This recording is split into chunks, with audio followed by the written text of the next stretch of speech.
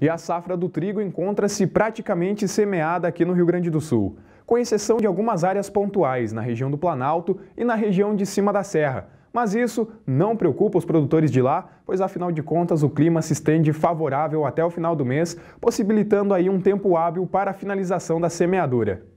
De acordo com o informativo conjuntural elaborado pela Emater, é boa a formação inicial das lavouras, com estande de plantas recomendados, emergência uniforme e crescimento inicial rápido, com as lavouras implantadas em desenvolvimento vegetativo. Técnicos alertam que, em casos específicos, algumas lavouras têm apresentado plantas com entrenós longos e poucos perfilamentos, folhas mais estreitas e coloração mais amarelada, isso devido ao período prolongado de pouca luminosidade.